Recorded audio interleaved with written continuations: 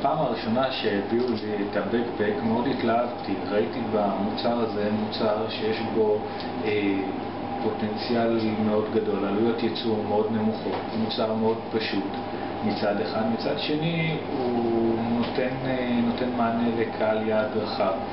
אה, הנתונים הכלכליים שלו מצביעים על עלות מוצר נמוכה, רווח גדול, וזה מה שצריך להיות במסחר.